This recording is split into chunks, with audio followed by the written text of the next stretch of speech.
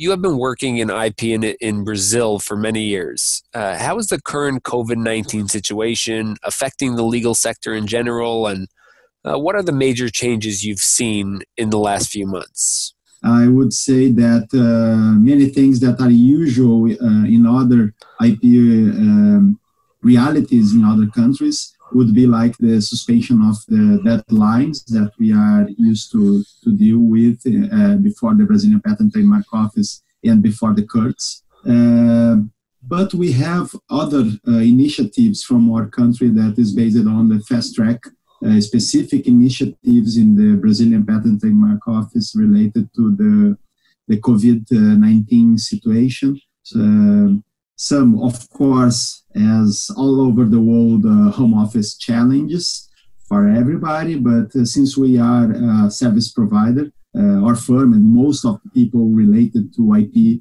are in this situation, we are able to work uh, in a home office basis. So everybody in our firm is doing like that. Six years ago, in your presentation at the 33rd ATRIP Congress, you stated that the challenges of the patent law are, are numerous have you seen more challenges arising as a direct consequence of the current situation?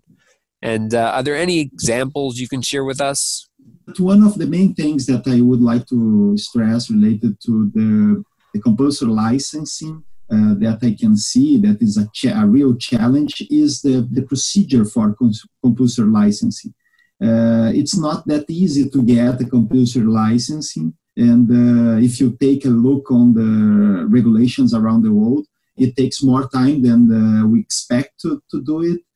And uh, if the government is not willing to, to do a compulsory license based on the, the country emergency that each country is passing through, uh, it would be difficult to have other compulsory licensings from competitors uh, in due time. I think that if we can connect my presentation in the ATRIP, ATRIB Congress uh, six years ago with this situation, I would stress the need of a more reliable and fast compulsory licensing uh, procedure.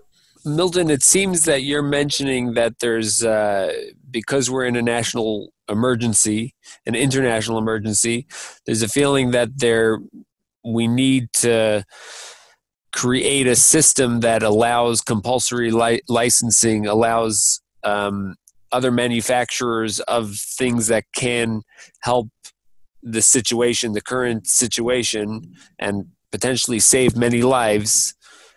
Um, to be able to be used by other manufacturers? It would be interesting uh, in this case that we are living right now uh, to have a more easy and fast procedure to have a compulsory license for the medicines related to the COVID 19, uh, for the respiratories related to the patents related to respiratories that could be produced by other industries. So it would be important, it it is important to have a more effective and fast uh, compulsory license license procedure related to the national emergency and uh, of course the international emergency that uh, we are living right now.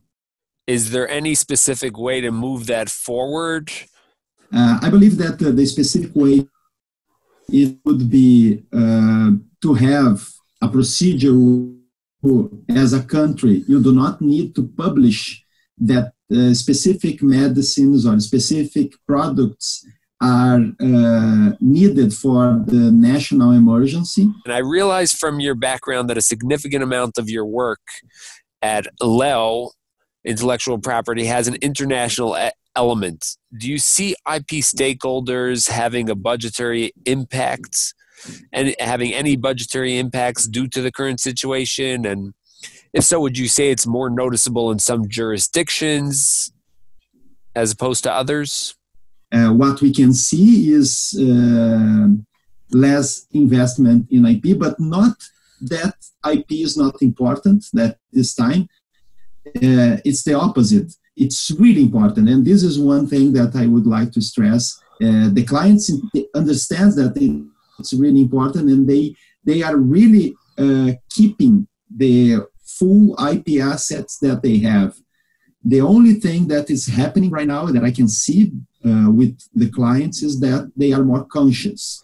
They are more careful with the, the IP assets and also they are thinking, uh, taking more uh, deep thinking decisions instead of the impulsive decisions about uh, protecting everything. The current situation, have you seen any unprecedented instruction or legislation from the Brazilian uh, patent and trademark offices related to the current situation?